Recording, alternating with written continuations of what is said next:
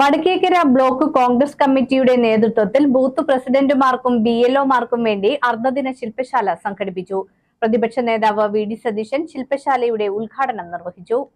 Vadakkekara block Congress കമ്മിറ്റിയുടെ നേതൃത്വത്തിൽ booth പ്രസിഡന്റുമാർക്കും B എൽഒമാർക്കും വേണ്ടി അർദ്ധദിന ശില്പശാല നടത്തി. പാർലമെന്റ് തെരഞ്ഞെടുപ്പുമായി ബന്ധപ്പെട്ട പ്രവർത്തനങ്ങളെപ്പറ്റി ചർച്ച ചെയ്യപ്പെട്ട ശില്പശാല പ്രതിപക്ഷ നേതാവ് വി ഡി സതീശൻ ഉദ്ഘാടനം ചെയ്തു. ഇന്ന് ഇന്ത്യയിൽ സ്വാതന്ത്ര്യത്തിന് ശേഷം ഏറ്റവും കൂടുതൽ തൊഴിലില്ലായ്മ ഇന്ത്യയിൽ ഉണ്ടായിരിക്കുന്ന സമയത്താണ് സ്വാതന്ത്ര്യത്തിന് ശേഷം ഇത്രയും തൊഴിലില്ലായ്മ ഏറ്റവും പത്നിയും പരിവർത്തവും ഞങ്ങളുടെ കാലത്ത് പോലും നമ്മുടെ രാജ്യത്തുണ്ടായിരുന്നില്ല ഏറ്റവും വലിയ ഇപ്പൊ മോഡിയുടെ ഗ്യാരണ്ടി മോഡിയുടെ ഗ്യാരണ്ടി എന്നാണ് പറയുന്നത്. ഇതൊക്കെയായിരുന്നു മോഡിയുടെ ഗ്യാരണ്ടി നാലാമത്തെ ഗ്യാരണ്ടി എന്തായിരുന്നു? വിദേശത്ത് നിന്ന് കള്ളപ്പണം മുഴുവൻ തിരിച്ചു കൊണ്ടുവന്ന് എല്ലാവരുടെയും പോക്കറ്റിൽ പതിനഞ്ച് ലക്ഷം രൂപ ഇട്ടേലും അത് കിട്ടിയത് നമ്മളൊക്കെ എവിടെ എത്തിയത്? പതിനഞ്ച് ലക്ഷം കിട്ടിയിരുന്നു അപ്പൊ നാലാമത്തെ ഗ്യാരണ്ടി ആയിരുന്നു അത്. രാജ്യത്തെ കാർഷിക മേഖല മുഴുവൻ തകർന്നു. വ്യവസായ മേഖല മുഴുവൻ തകർന്നു. ഉള്ളവനും ഇല്ലാത്തവനും തമ്മിലുള്ള അന്തരം വന്നു.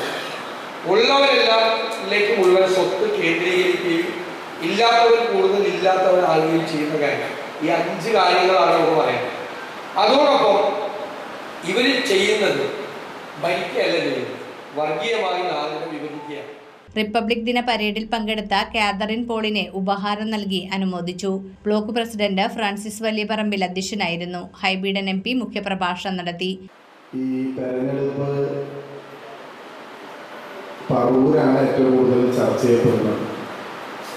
കാരണം എന്നോട് കാണുന്നവർ കേൾക്കുന്നവരെല്ലാവരും പറയുന്നത് പറവൂര് ഒന്ന് ശ്രദ്ധിക്കണം കേട്ടോ. പറവൂര് ഒരു കുഴപ്പമില്ല പറവൂര് വലിയ ഭൂരിപക്ഷം യു ഡി എഫ് സ്ഥാനാർത്ഥിക്ക് ഉണ്ടാവും എന്ന് തന്നെയാണ്. എനിക്ക് പറയാനുള്ള കാരണം നമ്മൾ ഈ തെരഞ്ഞെടുപ്പിനെ ഒരിക്കലും നിസ്സാരവൽക്കരിച്ച് കാണേണ്ട കാര്യമില്ല. ഈ തെരഞ്ഞെടുപ്പ് ഇവിടെ ശ്രീ അബ്ദുൾ റഷീദ് പറഞ്ഞതുപോലെ ഒരു രാഷ്ട്രീയ പോരാട്ടമാണ്. ഈ തെരഞ്ഞെടുപ്പിൽ നമ്മൾ ചർച്ച ചെയ്യാൻ പോകുന്നത് രാഷ്ട്രീയമാണ്. നമ്മൾ ഇന്നിവിടെ ഒത്തുകൂടിയിട്ടുള്ളത് സംഘടനാപരമായ നമ്മുടെ ദൗർബല്യങ്ങൾ അതിജീവിച്ച് എങ്ങനെ ബൂത്ത് അടിസ്ഥാനത്തിൽ നമ്മൾ ഒരു ഇലക്ഷൻ ഫോർമാറ്റിലേക്ക് മാറുമ്പോൾ നമ്മൾ യു ഡി എഫിന്റെ ഫോർമാറ്റിലേക്ക് മാറും.